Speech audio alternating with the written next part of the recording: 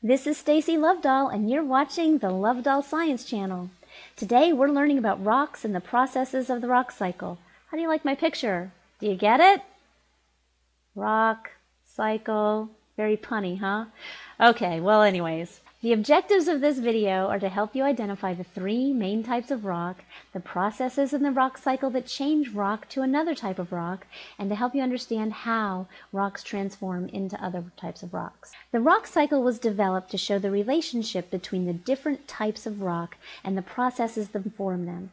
These are natural processes that are at work constantly, but they occur really slowly, so we can't notice them during normal time, but over the long course of geologic time, you can see these changes. So let's look at it up close and personal.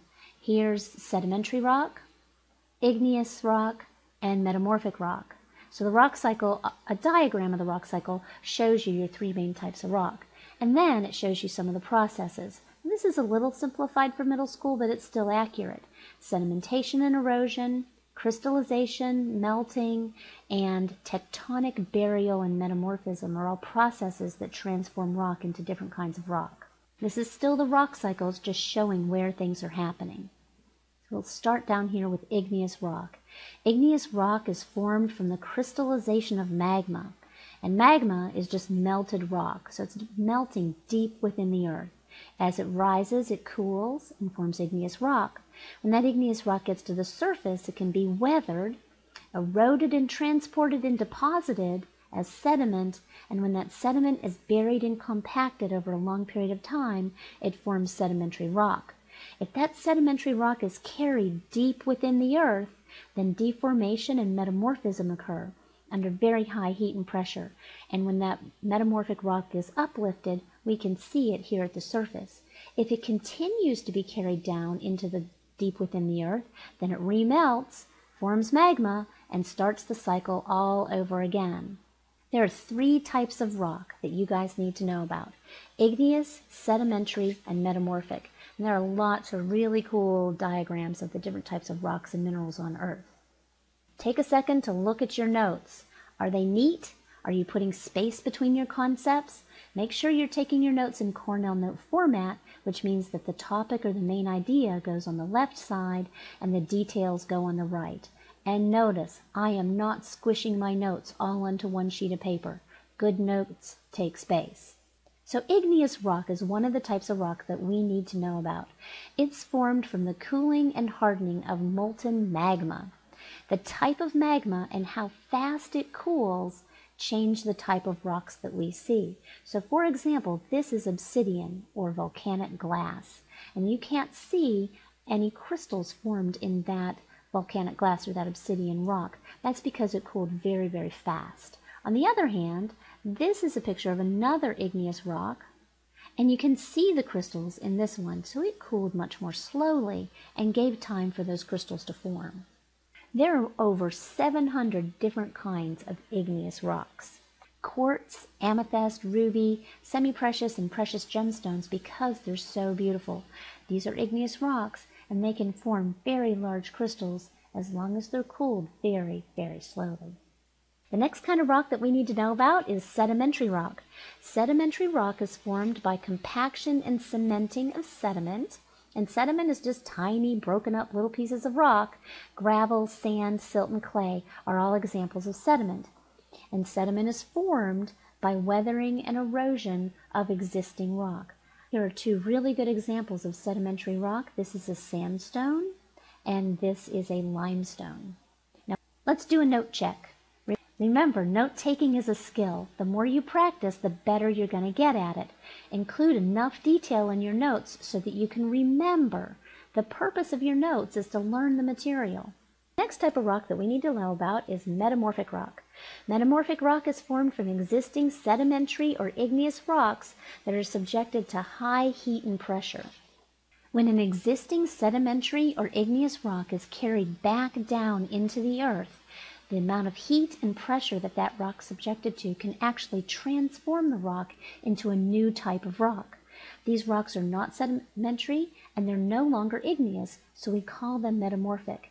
In this case, the metamorphic rock has actually changed the structure of the rock, where you can see that the crystals have become aligned almost in layers. The original rock wasn't that way.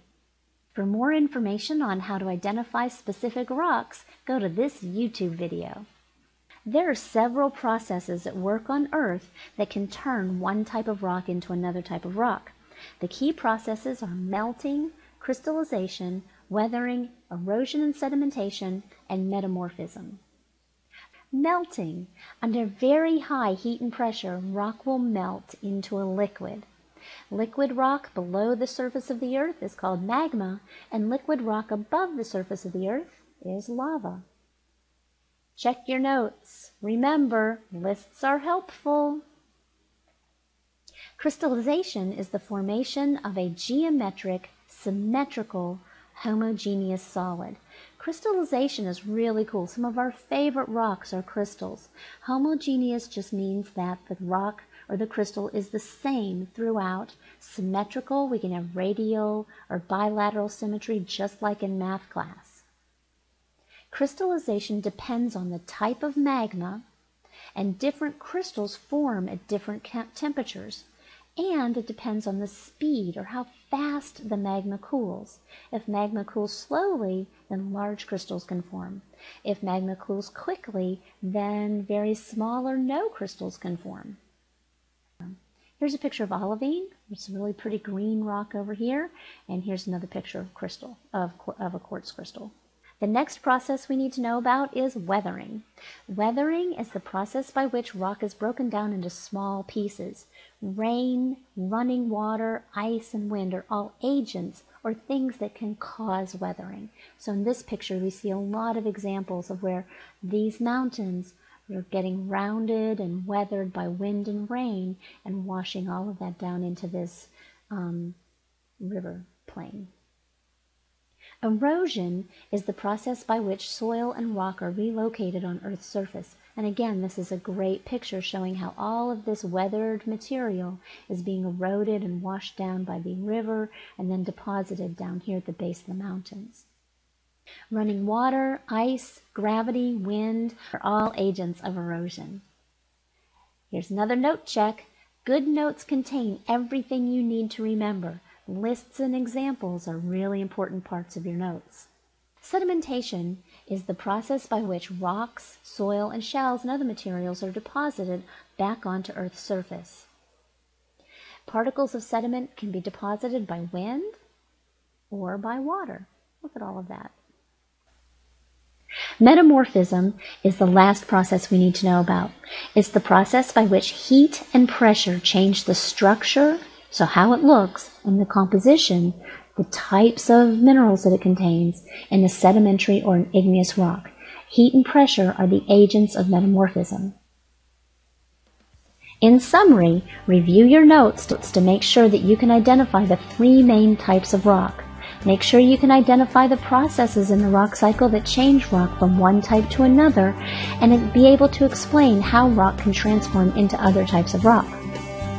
There was a lot of vocabulary in this video, but remember you don't have to rewrite the vocabulary words if you already have the definitions in your notes. Just review and make sure that they're already there. If they're not there, then go back and add them. Don't forget your three R's. Review your notes, Write a reflection for every page of your notes. I had four pages of notes. That means I'm going to do four reflections. And then respond to these questions. How do igneous rocks form? And what processes change igneous rocks into sedimentary rocks? Check your notes. Remember, good notes take up space.